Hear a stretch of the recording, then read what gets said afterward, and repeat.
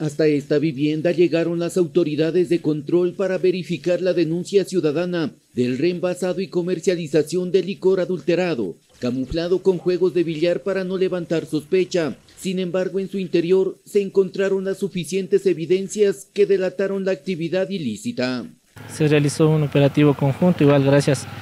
al apoyo de Policía Nacional, asimismo de la ciudadanía, se pudo identificar un lugar donde presumiblemente en primera instancia se estaba almacenando licor. Ante esta situación, obviamente realizando el, avance en el sector, realizando un análisis, efectivamente se comprobó de que existían todos los indicios suficientes para determinar que se estaba almacenando. Ante esta situación se hizo un trabajo coordinado con las diferentes instituciones con la finalidad de determinar las posibles sanciones y posibles riesgos que puede ocasionar el consumir este licor. Ante esta situación, gracias al apoyo de ARSA, se determinó igual la presencia de criminalística quienes fijan toda la evidencia con la finalidad de determinar. Nosotros, pues nuestro trabajo se pone en órdenes de las autoridades competentes, en este caso el sistema judicial, quienes determinarán las respectivas responsabilidades. Bueno, sí, justamente nosotros haciendo la revisión no existía una razón social, es decir, eh, no contaba, revisando el sistema, no contaba con un permiso de funcionamiento en vigencia.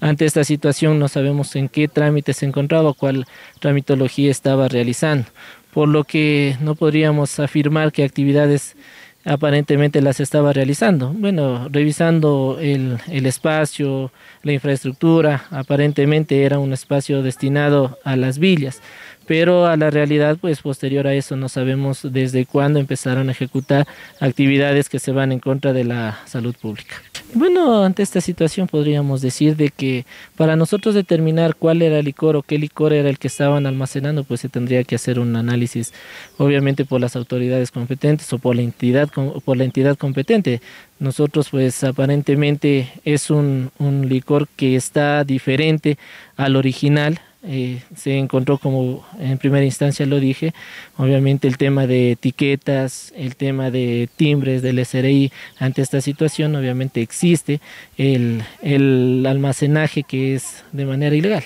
Sí, se puso a cuatro ciudadanos, tengo entendido que están puestos a órdenes de las autoridades y como lo dije, ellos determinarán la responsabilidad o a su vez determinarán cualquier situación que vaya en contra o en beneficio de estos ciudadanos. Aproximadamente 130 litros de licor adulterado estaban listos para ser envasados en estas botellas, que eran además etiquetadas con copias de una marca de licor legal para su comercialización en pequeños negocios sin levantar sospecha. En acciones coordinadas con la Policía Nacional y con Intendencia de Policía se ha determinado que en una vivienda pues estaba envasando un licor de marca el cual eh, presumiblemente pues es una falsificación del mismo producto. No, eh, no se sabe a ciencia cierta qué, qué producto es lo que se estaba envasando, no podemos determinar luego de más bien de un análisis nivel 2 que corresponde al análisis de laboratorio en el cual se puede determinar qué tipo de producto es el que se estaba envasando. Sin embargo de eso, pues al momento de verificar de que el producto eh, no cumplía con las condiciones apropiadas, pues este producto es no es apto para consumo humano y obviamente pues eh, se, se, constata que es un producto falsificado de una marca conocida de aquí de la, de la localidad. Por lo tanto, ese producto eh, se somete a una destrucción respectiva como parte, como,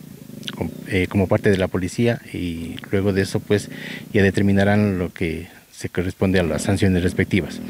Como no es un establecimiento eh, donde se pueda eh, comercializar este tipo de productos, pues eh, no se tiene ningún,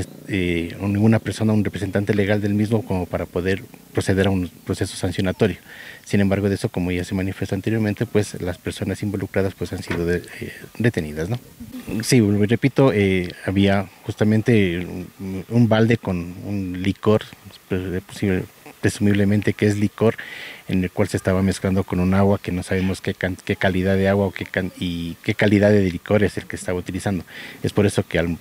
ser un producto que no tiene un registro sanitario, una notificación sanitaria respectiva, este producto pues no es apto para consumo y no se sabe, volví repito, la procedencia del mismo, pero estaban envasando o reenvasando en un producto, en unas eh, botellas de, de una marca conocida de aquí de la localidad.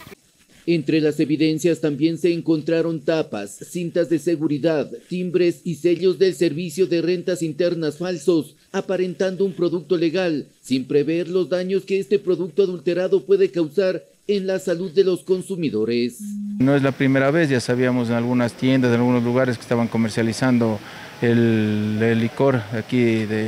que se distribuye bastante en el, en el norte del país, que es el norteño. Entonces justamente hoy en la mañana logramos identificar una casa donde observamos varias botellas y un líquido que estaban llenando ahí en ese lugar. Estamos con Intendencia y estamos también trabajando con ARSA para ver qué procedimiento, cuál es la situación que tiene que tomar, especialmente con el dueño de la casa donde estaban envasando ese tipo de licor. Claro, sí tenemos historia aquí en la provincia y en el país de cierto licor que han sido comercializado en su tiempo y hay varias personas que han perdido la vida, se han quedado ciegas. Entonces bastante irresponsabilidad de la persona que hace este tipo de, situaciones por tratarse de ganar un dinero, muchas veces mal habido, pero tendrá que responder ahora con la justicia.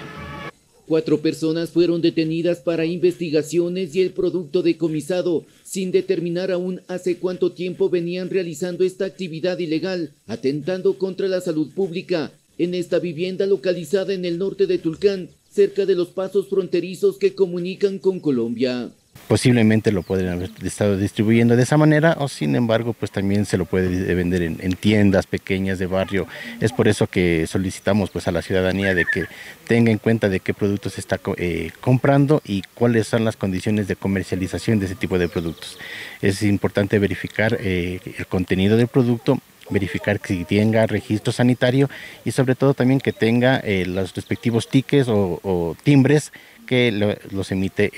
la autoridad correspondiente, pues en este caso particular son unas fotocopias respectivas de los timbres eh, antes mencionados. La Agencia de Control Sanitario realiza las pruebas necesarias para determinar el tipo de alcohol que estaban comercializando, mientras los detenidos pasaron a órdenes de las autoridades competentes encargadas de determinar el grado de responsabilidad y sanciones.